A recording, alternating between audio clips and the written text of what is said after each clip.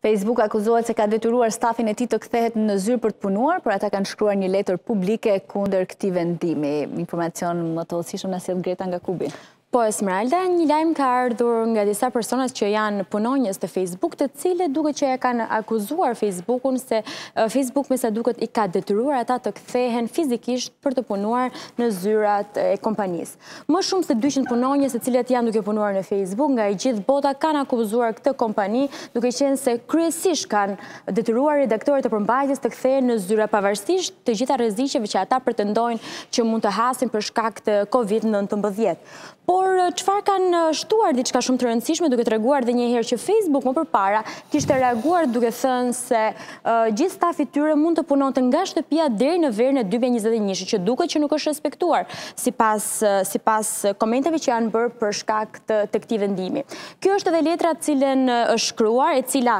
sikurse vihet edhe re, janë shkruar disa nga arsyet kryesore për sa i përket faktit që pse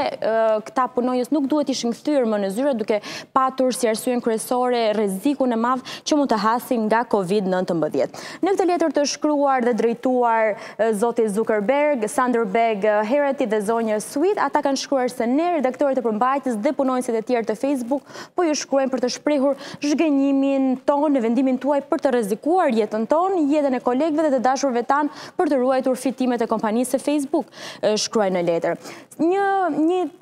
tjetër koment që kishin shkruar dhe bërë pjesë të kësaj letre është që kishin treguar që ndërkohë që Facebook na kërkon dhe po na bën presion që ne të kemi kujdes për sa i përket fjalimeve përmbajtësore të cilat kanë të bëjnë me gjuhën e urë gjuhën e urrejtjes, por njëkohësisht edhe për sa i përket dizinformacionit. Nga ana tjetër Facebook, po na shtyr neve të punojmë në zyrë duke na shtyrë dhe duke na bërë pjesë të kësaj,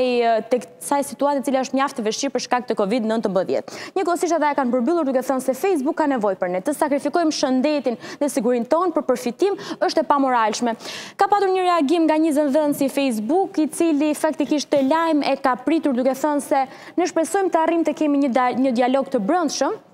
por njëkohësisht edhe të hapur, duke thënë se këto diskutime duhet të jenë të sinqerta ama. Shumica e këtyre 15.000 redaktorëve, të cilët janë redaktorët e përmbajtjes së lajmeve globale, kanë punuar nga shtëpia dhe zëdhënësi ka thënë që ata do të vazhdojnë të punojnë nga shtëpia derisa kjo periudhë e COVID-19 do të jetë më e qetë dhe më e sigurt për ta, Esmeralda.